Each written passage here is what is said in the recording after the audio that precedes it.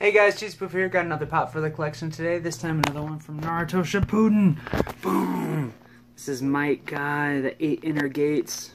He's going up against Madara. But there you go. You can see it's the Chalice Collectibles exclusive. It glows in the dark.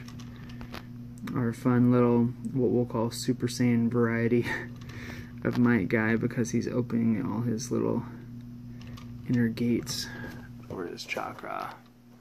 Definitely pretty fun, everything. But we'll pull Might out so you guys can see him up close. Definitely looks pretty badass there though too. You can see the reds, his hair flying there, his giant flaming eyebrows. He does have his little eyelashes underneath. There's the little Might Guy suit there that you can see there too. It's pretty fun. His little bright green, little green beast Konoha style. His little headband on his waist, the little flames there. He's still got the weights connected to his legs. All the little Funko logos there. Does look pretty badass. So, throwing him up like this, definitely get to see him in all little forms of lighting there too. Super, super cool.